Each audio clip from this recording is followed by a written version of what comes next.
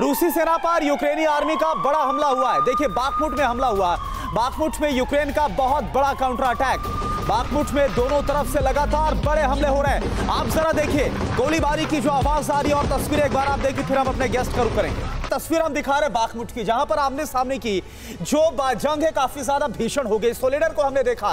रूस ने किस तरह से पूरी तरह से कब्जा किया, दावा वो हम देख रहे हैं। बाकमुट कितना इंपॉर्टेंट हो रहा है और हम देख रहे हैं बहुत वक्त से यहाँ पर जंग चल रही है। रूस कब्जा पूरी तरह से कर लेना चाहता है, लेकिन बड़ा चैलेंज दिया जा रहा है यूक्रेन की तरफ़ से। देखिए मेरा मानना यह है कि ये कुछ स्ट्रेटजिक लोकेशन है यूक्रेन के अंदर।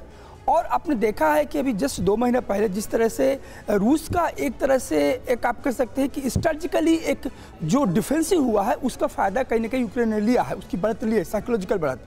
लेकिन सबसे बड़ी बात यह है कि अब जो है मात्र जो पंद्रह दिन बचे हुए हैं पूरा एक साल पूरा होने के लिए उस उस कंडीशन पर रूस को लगता है कि किसी भी तरीके से जिन जगहों पर पहले उसका कहीं पोजीशन हो गया था एटलीस्ट वहाँ पर फिर से कंट्रोल हो। इसी तरह से आप कल का देखिए कल की घटना जब ब्रुसल्स पर यूरोपियन पार्लियामेंट को जेलेंस्की एड्रेस करते हैं और मेंबरशिप के लिए ईयू के लिए तो उस समय यहाँ पर एस्केलेशन और ज़्यादा बढ़ जाता है। तो आप ये पंद्रह दिनों के बीच में आप कुछ और भीषण तस्वीर देख लो हमारे सामने आ सकती है। जी कम से कम उन इलाकों पर जहाँ विशेष रूप से हमले किए जा रहे हैं, उन इलाकों पर कब्जे का ऐलान 24 फरवरी तक रूस की ओर से किया जा सकता है। फ़िलहाल ये स्ट्रेटेजी समझ में आ रही है रूस की ओर से।